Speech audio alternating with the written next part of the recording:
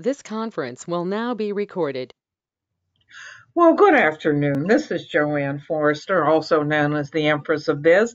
Uh, doing what she loves to do is talking to you with one of her favorite people in the world, Sal Acosta, the Duke of Business, talking about small business with our special guest, William Forkner, who owns Forkner Engineering. And we were just teasing him because, as an engineer, they aren't always so creative with their names.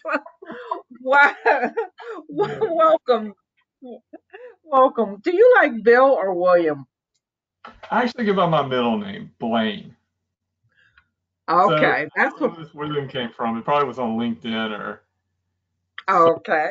Well, welcome to the show because we're going to talk business. And um, before we start asking you questions, how are you doing, Sal?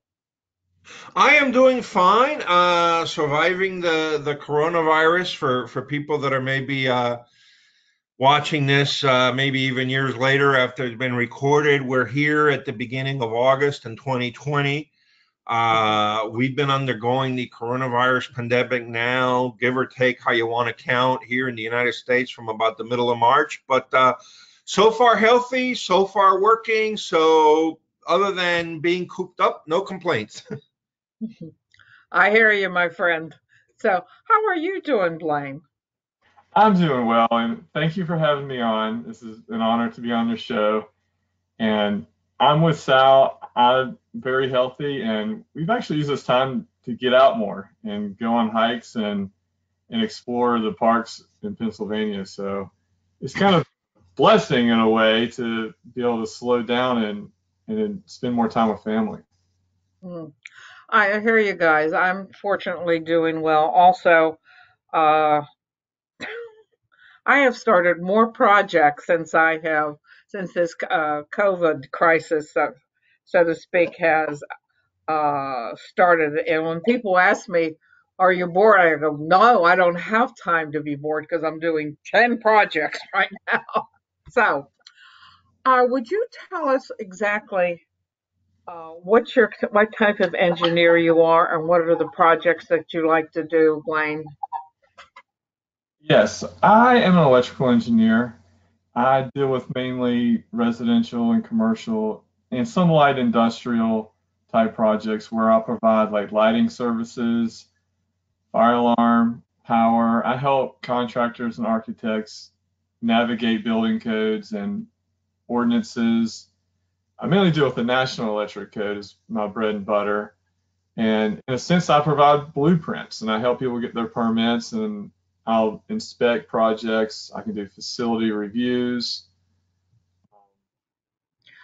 Now, an ideal project. Go ahead. Now, how long have you been in business? I've been independent for seven years now. Mm. What's the big difference when you say being independent and working for someone else? Well, I think I do probably more smaller projects versus the big teams. I'm not going to do the next PNC tower. You know, that was a big team effort there, and they usually have they probably have four or five electrical engineers. So to just bring on one electrical engineer might be a little unusual. That would probably be the biggest difference. I mean, I could help out in a sense. Maybe I could specialize on just audio visual or just lighting for a project. Take on everything, it would it would probably take me three years to build it, and they want it built in a year. Mm. Hey, let me ask you a question. Um, first of all, now in retrospect, because you know, becoming your own boss, having your own firm, obviously is is is a big leap of faith. It's it's a big change, and and sometimes you don't know everything that you're getting into. Quite quite frankly, I talk to a lot of small business owners. So, number one is now in retrospect, are you happy? Did you get everything you were looking for? And and and maybe as even as a precursor to that, um, what motivated you to kind of branch out on your own and and again take the the level of risk that's required to go out on your own when you're not clear where the next paycheck is coming from and where the next client is coming from. Right. I thought about this decision for a while, and I feel like I kind of backed into it. I had gotten sick a few times, and my health wasn't real strong, and I felt like I didn't have a good connection with my family, and I wanted that. And I wanted, and we just had children, and my dad worked a lot of hours. He worked for Bechtel. We would go. he would work at different nuclear power plants, and I mean, he was gone for a long time. I still work a lot. I still have to work some nights and weekends, Mhm. but I'm at least I'm here in the house and I can see them. I get to communicate with them more so than I guess I could pick up the phone and do FaceTime at home, but it's not the same.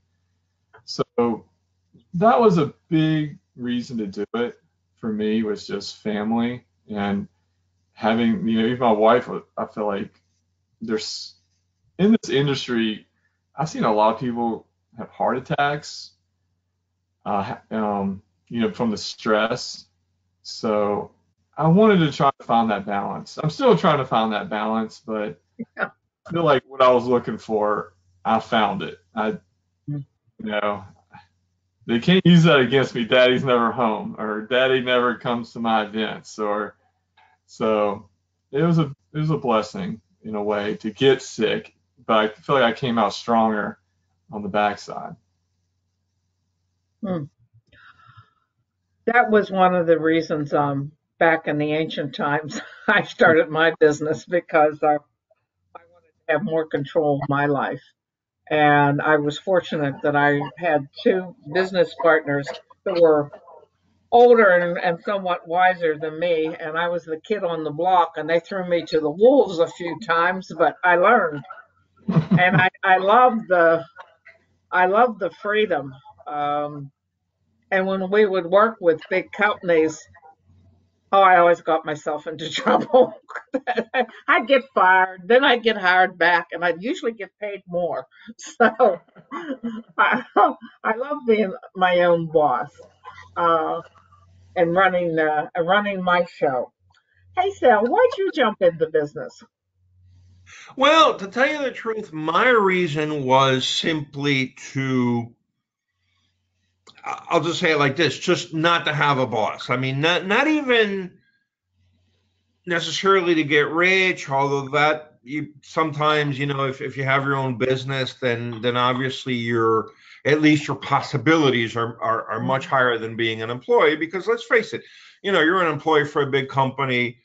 Um, you know, there's a budget for salary increases. You know, I, I worked in times where if you got literally like a one and a half percent salary increase, you were doing really well because that was reserved for the high performers. Because a lot of people were basically getting nothing; it was flat because that was the budget. Because things weren't doing so well. But, but even though again that was sort of a, the the the higher sort of compensation was a possibility, that that wasn't my motivator. My motivator was uh, not to have a boss that you had to be always kind of responding to, just being able to do my own thing, call my own shots, and uh, uh, you know have my own destiny in my hands. And hopefully, if I make good decisions, then then then have a, a profitable company. And then if not, you can't blame anybody but yourself. Yeah, any person you can fire is you. or, uh, Blaine, when you um, first started your business, uh, when you first started uh, working in the engineering field, looking then to now, what has changed? Um, when I first started out, you know, I felt like I was de- there were a lot of staff that I didn't connect well with, and I feel like there's more mentoring, there's more training. Um, you know, where to find that? I think I had to search it out. One guy told me to do as many engineering review courses as I could. So now with the webinars and and some of the I get these like almost what do you call uh it's just more like lunch and learns you could call them. So I feel like when I first started, I didn't see those right away, especially when I was learning things. I'm like, where do I find out about this? You know, I'd run across some system or some energy system, and I just, you know, I would try to ask for help. Sometimes they were busy, So trying to find that information on my own now with the internet, there was still the internet. You know, I started out 15 years ago, so I'm not that new, but it's just so much more education material out there to help young engineers. Hey Blaine, let me ask you a question because obviously, in, in, in full disclosure for everybody, I, I know Blaine on on a personal level for quite a few years now. So I also know that you're a very, and I'll say either religious, spiritual, however you want to call it. How has that affected you, not only as an individual, but as a business owner? Because of that background, let me say, do you make business decisions differently? Do you do anything different from a business perspective? You know, I do try to have a devotion every day. I try to read my Bible every day to start out my day fresh. And one thing is, I don't like to respond to people on Sundays. I like to try to relax as much as I can. And sometimes I know I get these like urgent emails, and I'm like, can it just wait and respond first thing Monday? That way they can relax too. And so sometimes that's gone very well, not having to continue to play ball. So one time I did this, I got this proposal to do a project for medical marijuana And I kind of was like up in the air about it, but then the more I thought about it, I mean, there are people out there that have, let's say, seizures and need that type of medicine. Mm-hmm. And it was like trying to come to terms with something or wrap my head around something like that. At first, I was like, I was kind of, like I said, on the fence. But then I'm like, well, it's really to help someone. And can I help someone by doing my job? So that's kind of how that came about. That's interesting. I often ask myself, 10 years down the road, am I going to feel proud of what I just did? That's my that's my weather vane because if I'm to if there's a part of me that says, "Ah, no, I won't touch the project. I just won't do it." So um technology wise, you started 15 years ago as an engineer. What's changed? We still had some modeling software, uh, like CAD and some simulation programs, but we definitely have some new lighting softwares where we can model 3D and see more of the building in 3D. Uh, I haven't got to use all the software, but that has probably been the biggest change. Is like you get to really see the rendering of a building. You used to have to like sketch it out by hand with colored pencils, the architects, or do some sort of shading for lighting. We my first time I did a lighting program, we had a CAD app they used to call it, and it was pretty much what they call point-to-point method. So just to do one room would take probably five to ten minutes. Now it takes me probably once I have everything selected up and running, maybe a minute to do a lighting calc in one room.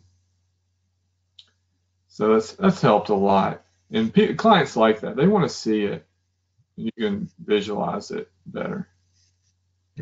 Let me ask you a question, Blaine. Um, right now, the I'll say uh, political situation with with China is a little bit testy, um, and it's it's really unclear if it's going to get better or or worse in in the future. And and I know that depends maybe even a little bit on on the upcoming elections but how much is that affecting the electrical industry? And I, I don't mean just necessarily your business in terms of maybe designing something but I mean more broadly you know in in terms of you know maybe some some lighting that that comes from China some lighting products or or wiring or whatever how has that been affected so far? If the situation gets even worse, you, how much more do you see it being affected?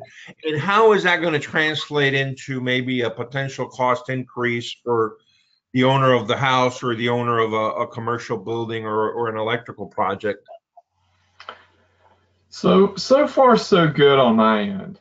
A lot of the products I make are what I call cookie cutter products. Like a two by four light fixture you're right, we can buy one from China, but most of the products are either made in the USA or from Mexico. Even a light switch, or you know, this Lutron, I think, is located near Philadelphia. And Southwire, they make, you know, obviously a lot of copper conductors is out of Atlanta, Georgia. Another company is called Acuity Brands Lighting, which is near Atlanta, but they manufacture most of their light fixtures, I think, in in Mexico. So a lot of that is here in North America. Uh, but you're right. I do have one client recently decided he was going to buy lights from China. And we went back and forth on this discussion because they didn't provide us with all the information I was looking for to give them a clear answer if this light was equivalent and if it was rated. Like they have to be UL listed and or some sort of listing by a third agency to be installed in a commercial building. And information was not available, and I told them I could not approve this light. I think they ordered it anyways out of my recommendation, which I mean, you're you're spending a lot of money. I mean, this is a this is a big project, so the lights were over two hundred thousand dollars. They decided to go ahead and purchase, even though I told them this doesn't make sense to me, at least. So, I mean, why are they willing to take that risk? I'm not sure, but it, well, let me ask you this real quick. So it was a two hundred thousand dollars in lighting that they bought from China. What would have been the the closest equivalent coming from the U.S. or, or from Mexico or from anywhere other than China? What what give or take? What would have been the price differential? They don't. Uh, you know, clients don't always share with me the pricing, so it's kind of a cat and mouse game in a way because I'll go to a vendor or a a representative for a company, and they don't always like to reveal that information. I guess it fluctuates, plus with their markup, plus shipping. So they were probably, if I was to guess, maybe saving 20%. If, but they also lose out on support. So warranty wise, like if one goes bad, they're not going to have anyone that's going to come and look at it and try to give them a new one. I don't think warranty is strong when you order like that. That's fascinating. There's that little bit of savings compared to uh, what it actually costs if something goes wrong, um, which hits my favorite subject when you have bean counters running the show, you got problems. you know, and, and I, I and I don't care if there's a bean counter counter out there. I'll be glad to argue with you anytime. Just call in, whatever. uh, and I've I've owned construction companies. I've been a partner in there, and um, oh, that guys have thrown me on the site.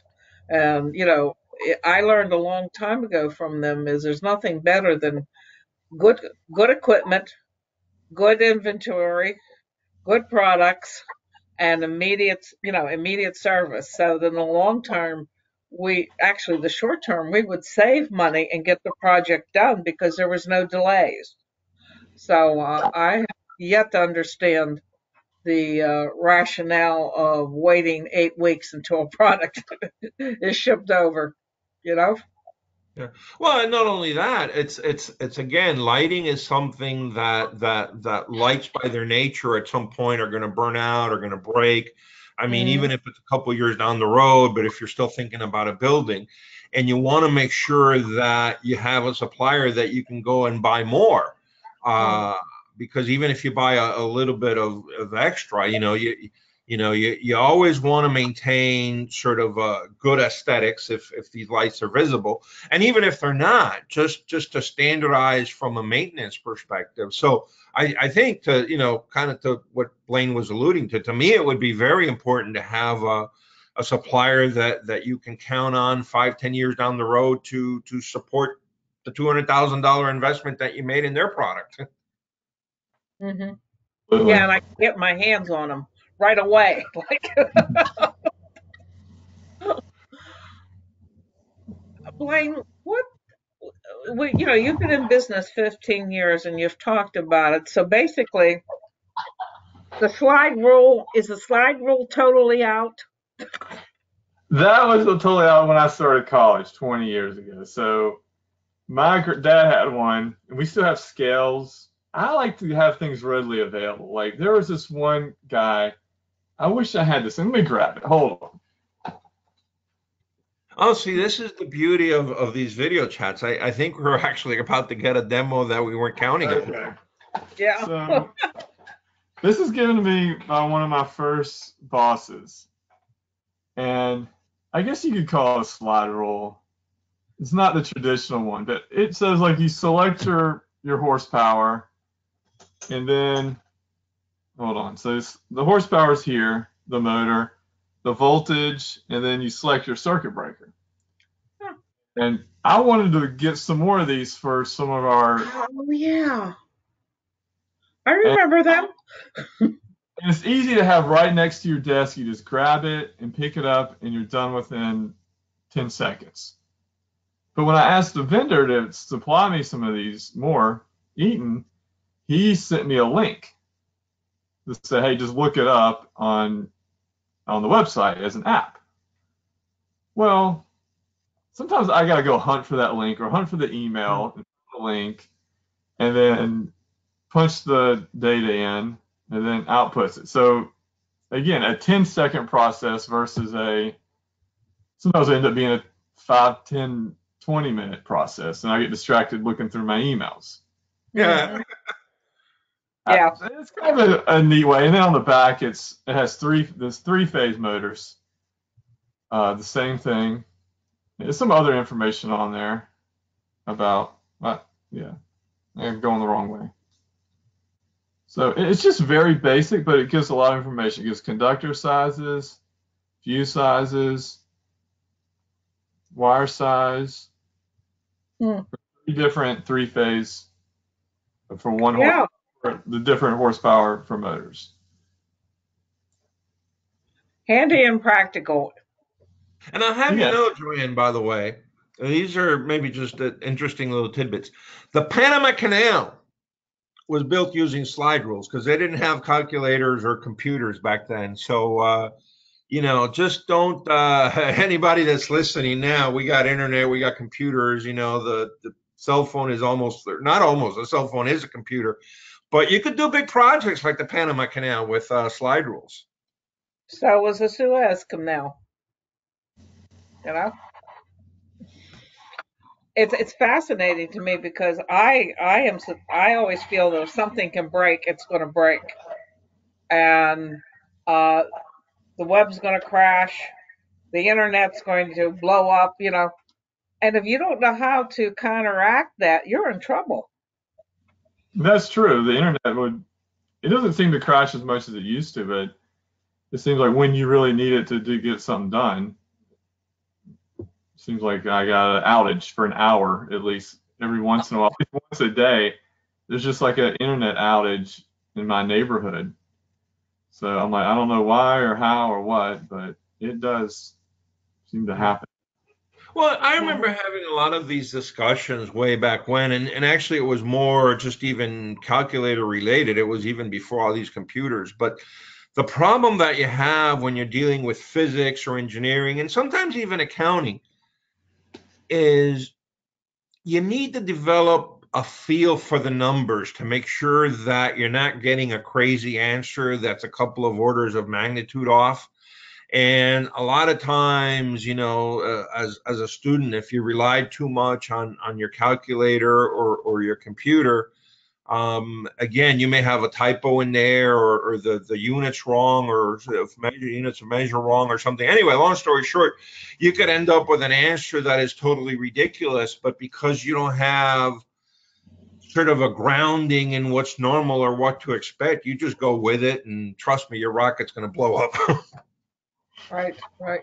Yeah, I I had an experience with um I won't name the a very large steel company where I was doing consulting with one of my other business partners and we were actually able to document a million dollar order where stainless steel order we were off one one thousandth of an inch, but that whole order had to be dumped.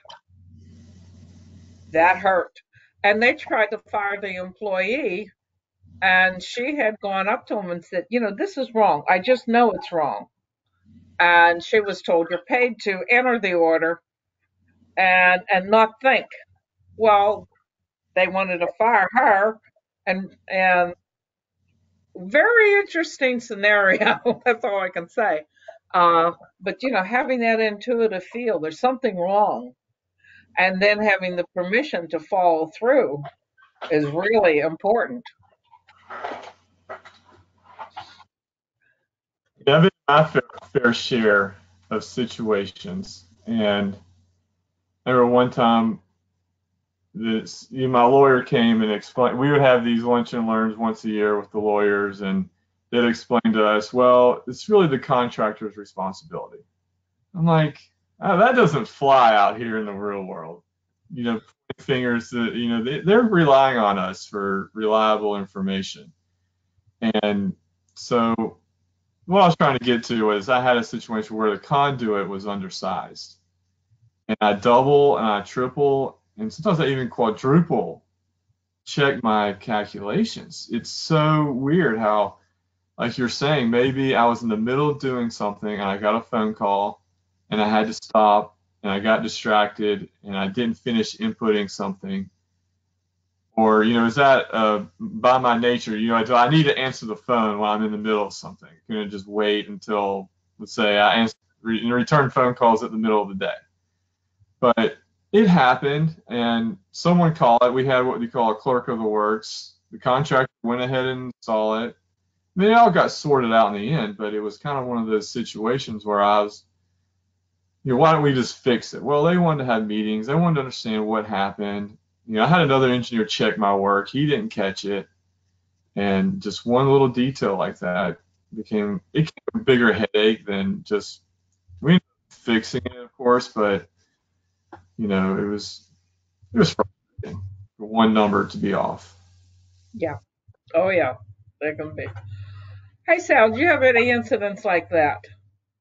Well, I will tell you, in electronics manufacturing, um, a lot of times we would buy um, PC boards, and the only little detail is the PC board if, if you think about like literally like a board, it would have like multiple images on it. Okay, multiple mm-hmm. images that were all the same. And those would eventually get broken out, and that would be the individual product that would end up getting sold, whether it was a, a computer board or a, uh, or a, a, cell phone, you know, the inside of a cell phone or whatever.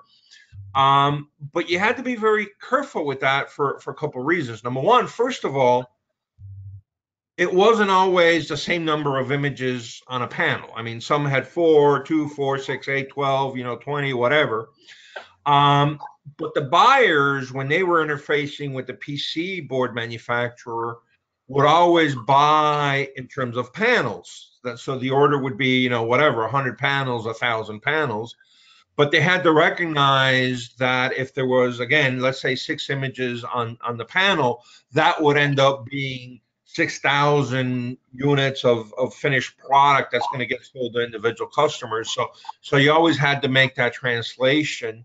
Um, and then on the bill of materials, a lot of times the way it would be set up is it would be the panel part number that would be in the bill of materials. But then because the bill of materials was for a single finished goods unit, you actually had to have in there instead of one component, one sixth of one component or one twelfth of one component corresponding to how many images were in that panel. So anyway, it was a total mess and it was very easy to either order too little or order too much because you always had to be making that correlation and that translation between images of, of finished goods product that goes as an individual unit to the customer versus panels that get ordered from from your PC board vendor. And and sometimes a, a buyer was thinking he was ordering you know a, a thousand enough to make let's say a thousand finished goods units and he was ordering 6000 and then instead of instead of having one month on hand you have six months on hand and it was like a big mess. Yeah, yeah. Lots lost in the the communication. Um, Blaine, if if you were to uh talk to people starting their own business, what would be things that you would like them to be aware of? Uh, that you you know you'd like to share. I think when I first started out, I a business model is very important. I did work with the small business groups here in Pittsburgh. I use the one at Duquesne University. I also I think it's very important to have at least six months to a year of living expenses available Oh, yeah. in bank account. And and I also feel like projects just don't fall out of the sky. You got to get out there and work. You got to network. You got to make phone calls, meet people for coffee, and and and grind a little bit to make it happen. I still do. I mean, I was looking at some business cards today, and I probably have.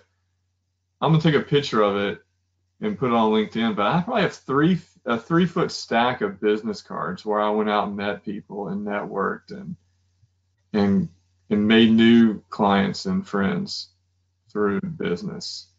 I mean, it may not translate well to everyone, but I thought I had some really good partnerships before I went out, which just didn't materialize because they would rather work with a bigger firm than, and I didn't know that. So I went out and met met new architects and developers and contractors who needed help, and so I think just being persistent and, having a little bit of resiliency to you. You may call. I've sent one architect ten proposals and haven't gotten any work, and that's just the cost of business sometimes, and it, it doesn't bother me. It just it's just the way it happens. So, um, just being a you know having some some of that just grind to it. So Blaine, let me ask you a, a little bit of, of a two-part question. Um, and I know you're you're a small business, but you're you're you're in in a specific niche. So I'm going to ask you to maybe answer more generally for for thinking of any possible type of small business owner. Okay. Um, and the two-part question is right now, a lot of people are really struggling because of this coronavirus that's going on. So, what could the state government, what could even the federal government do to help a generic small business kind of um, get through on the other side of this coronavirus and and and be healthy coming out so that they can continue to conduct business? Um, and then even more generally, in, in normal times, normal situations, what kinds of things do you think? um, again, the state government or the federal government could do uh, to spur on business growth and, and business development in general for, for small businesses? That's a great question. I feel that, first of all, I wish we had a better schedule and a better, clear activity. I know we're, they're trying to wait for a vaccine, and it's a hard thing to do, but a little bit clearer because there were some situations that they open business and then they shut it down the next week. And I didn't think that was fair, especially to restaurants. But moving forward, I think they really need to work with some businesses and provide some some tax deductions or some sort of credits. But with that, I think some business needed to sharpen their pencil a little bit and may have been exposed. And I think they should those companies that take these credits, they should have to be required to go to the small business centers and maybe take some classes to go along with it because um but I mean it may not work well everywhere, but at least there's some training involved as well as their business. And maybe they are just you know running paycheck to paycheck. And I feel like the, a lot of companies do that so they clear their books at the end of the year and they don't have a lot of equity or cash available. But um I know that that might be something the government might need to work more with some businesses is allowing them to have more cash available instead of making them get taxed as soon as you make a profit and then otherwise because I know they try to move money around to do charitable or training or I forgot what they call it but they got like burn off is a term some companies use for investing in other companies. So allowing companies maybe to have a little more cash on hand might be helpful as well. That doesn't affect me as much, but I think for small businesses, which I feel like are companies with 10 or less people, a tax deduction would help with some training, I think. And less regulation. Yeah. yeah. Sal, what would you do? Oh, that is a, a, a very good question. Um, I think certainly training would be one. That's one that, and and and as Blaine is is alluding, there's there's a wonderful resource in in pretty much every state. Um, it's a small business development center, SBDC. A lot of times they're attached to different universities, so that's definitely a, a resource um, that I would use. Uh, the other one that I would do, by the way, would be uh, tax credits, but specifically for hiring employees and specifically for exporting. Um, because I think that that a company that figures out a way to be very successful exporting their product manufactured here in the U.S. to a different country deserves a tax break and, and deserves recognition from the government through a tax break.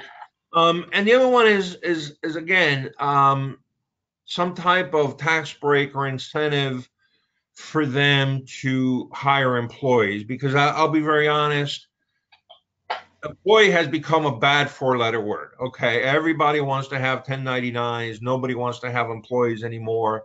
And along with that comes the you know the the uncertainty from the part of the employees is am i going to have a job next month? You know sometimes they don't have benefits. So so a lot of that risk benefit equation has been shifted onto the shoulders of, of the employees by not being a w2 being a 1099 so i would make sure to incentivize um, that to happen. And and and maybe one last thing because we could go on this forever and ever and ever. Um, but I would all, and I know this one's going to be controversial too. I think all of everything I've said is controversial, but um, I would have some type of training wage uh, up to, you know, some age, I don't know, 18, 22, 26, and maybe some type of sliding scale. But just to make it easier for companies to hire somebody, again, at 16, 18, maybe all the way down to 26 uh, because it's they they can do it cheaply, but at the same time that person can come into the workforce, get trained because I don't care if you have an MBA or an engineering degree or whatever you have, you still have to get trained not, not only in, in real life as opposed to what you learned at school, but also in the particular products, processes, technologies of that company. So facilitate for the company to make that investment in that training and that knowledge transfer. And then when you get to a certain age then you know you you're there you're embedded and and and you can continue your career at a more uh, higher level salary. That's that's more competitive so then somebody else doesn't hire you away. So uh, long answer to a short question but i hope all that makes sense. Mm-hmm. you know what, what makes sense to me is that I uh, I'm going to get myself into trouble, but the small business development centers are good, but I don't need a a master's candidate teaching me. I need someone who actually knows what they're doing, who's been on the ground, who has done it. So that I would like to see a use of more people like us actually doing the consulting, getting um, some kind of um, yeah getting paid but anybody who's a phd or master's candidate or whatever you got a lot to learn there's nothing worse than in the middle of the night and you got to make a payroll and you don't know how you're going to do it yeah. You know, well, there's, there's a lot.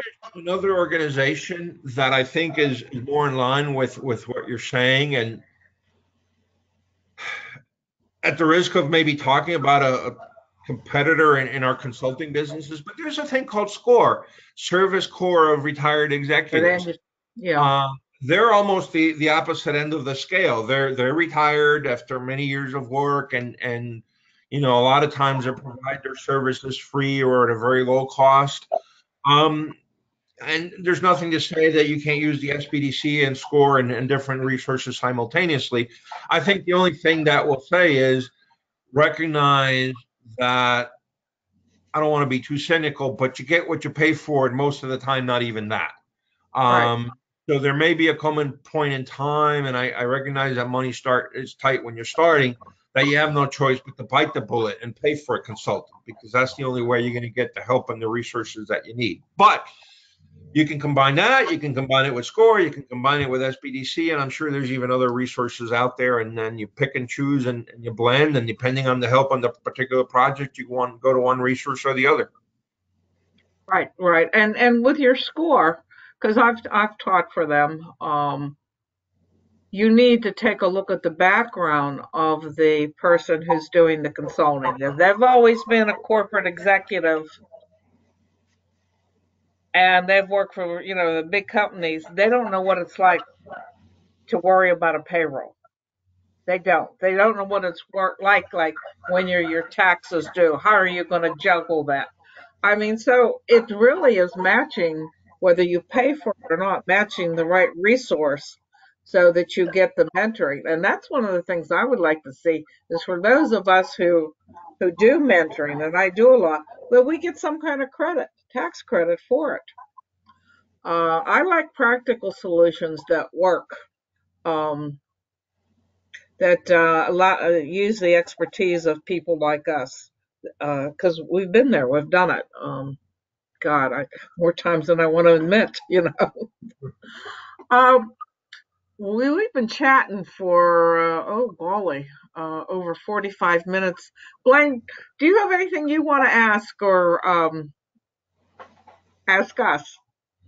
Um, JoAnn, I know you've talked about your businesses. I'm, and you said you did a contracting business. What other businesses have you been involved in? Oh, golly, from public relations to counseling to owning real estate to uh, political consulting to I just have uh, an insatiable taste for doing all kinds of different things.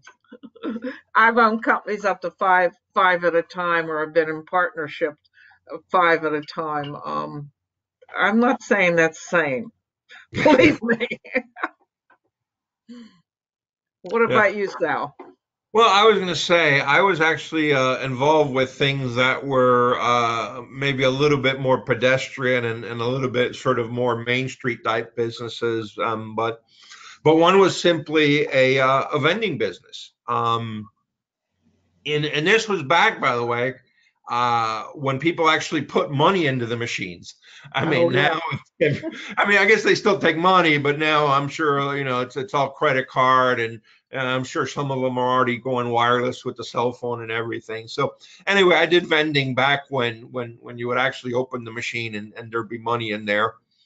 Um, and the other one was a a, uh, a, a service business, a mobile uh, oil uh, change business for for cars, and then we did all sorts of other light mechanical stuff like replace the wipers or you know uh, tires that were low on, on pressure, we would fill them up and things like that. Um, and maybe like JoAnn, there was a point in time where both of those were overlapping. Um, so, you know, had to juggle employees and emergencies and, and, and situations and, and both at the same time. And, uh, and maybe going back to something she was alluding is when, when you have a small business with only a couple of employees, if you have certain activities planned and certain customer commitments and, and one employee calls in sick, it's a big problem. Um, so anyway, those were, were mine. Blaine, have you owned more than one business? Yeah, I did another venture where it was called Scan Plan Go. And I teamed up with this company out of Pittsburgh. It's called Kaarta, and they offer this robotics that is from CMU, where basically it's a product where you would scan a building, put it into CAD, and it was like a 3D model. And it was so, and the, the idea was to be able to provide planning and scanning fast and quick. Um, so the technology doesn't use GPS. It uses a three a, a black and white camera, a color camera, and what they call lidar. So it's it's basically a, like it has like eight different laser pointers that are constantly going out making points. And so I tried this as a service type business, and I didn't do it on my engineering because I wanted to be able to go to other states faster without the red tape of engineering. I have to have a and I have to get a license in each state. I got to get insurance in each state. I got to get approval from the board in each state. So that's one reason I did it under a separate LLC. And it was hard to juggle both. It was hard to get that ball rolling again and go out to architects and try to get more service type work. Um, I, I, still have the equipment and I still work with it, but I don't advertise it as much. And I've been trying to sell the equipment to and move on just because I just don't have the time to do to do both. Mm-hmm. Well, as we do wrap up, uh, guys, what um, uh, the question I want to ask uh, all of us is, with the situation right now, uh, with us sometimes being limited in contact, what's your best advice for building a business right now? What, what about you, Blaine? Mine is to really truly try to help someone and and have that passion to grow. And of course, cash is king, so definitely make sure you, you have your ducks in a row, whether it's financing or your living expense taken care of, so you're not stressed out how you're going to pay your bills or how you're going to pay for your insurance, or if you do get sick, what are you going to do about it? So I feel like just being able, and of course using, I like having a plan. I like, I feel like being prepared is is very key. And if you're not ready to play and and take care of your clients, they'll know immediately. So, I also feel like one last thing I want to say is I feel like not trying to take on too many clients at once and and ends up hurting myself and other clients. Like trying to know when to say no is important. Ah, good point. Good point. What about you, Sal? I, I think the only thing that, that I would say is to keep a level head and not get too wrapped up in this coronavirus thing, okay? And I was talking to somebody the other day, and I want to make sure that you know, and and we were saying, oh, you know, same thing. Back in the middle of March, everybody thought this was going to be a two week thing. We were going to do a two week lockdown, and and then after that, everything was was going to be back to normal. And I think people have been very unpleasantly surprised um, that here we are in August, and and this thing is is still going on. Um, I'm not going to say unabated, but with significant ebbs and flows. But having said all that, keep a level head and don't let that be the only thing you think about when you think about what business to start or how to grow your business and how to proceed. I think it's uh, keep a focus on we're going to get through this. Okay. Maybe it'll take us another six months, but in this in in the context of growing a business in the context of creating a business in the context of starting a business six months is the blink of an eye. Um, yeah. So think about what you can do post pandemic and, and just have that make sense and then go with it and and just execute it in the context of hopefully being out of this coronavirus in another six months or a year at most. And my advice is don't get wrapped up in fear the more you wrap yourself up in fear, um, the less your opportunities are. And right now, I see all kinds of opportunities emerging. And someone somewhere is in a garage making a, or in a basement or using a slide rule or is doing something, you know, that's going to blow up the whole thing and create a whole new industry. And it's only when you get tied up into fear that creativity and the opportunity to take advantage of what's going on out there stops. So, like I, you know, I'm I'm trying new things. I'm having a good time, and um, JoAnn, I, it's gonna come out okay. Yeah. I remember I heard this. My my preacher had this sermon that during the Black Plague is when Isaac Newton went into quarantine and had his thoughts, and that's when he created a lot of his Yeah, laws in physics during the Black Plague. So, I mean, I definitely like what you're saying. We're going to see some exciting things come out of this, and it, it, it's for a reason. yeah, I I believe that, and that's amazing because you know we we're talking about the virus where the Black Plague where it got like uh, almost half of Europe. Hmm That was a it's, you know so millions and millions of people died. So uh, we're gonna be fine. Sal, would you like to do a wrap up? Yeah, well, I just want to say, Blaine, thank you for for joining us and taking time out of your your busy schedule to, to join us and not only sharing a little bit about what you do, but asking some, some insightful questions uh, back at us. And uh, I, I wish you the, the greatest success uh, with your firm. And uh, again, you know, say stay strong and healthy. And uh, I'm very confident that we're going to get out of this. Uh, again, I don't know if it's six weeks, six months. It's not going to be six years. Um, and, and, and we'll come out of it just fine. I mean, we're, we're making connections all over the world, businesses be- becoming more efficient because of this, believe it or not. So, so we'll be okay. And thank you for joining us. Thank you for having me. It's been a pleasure.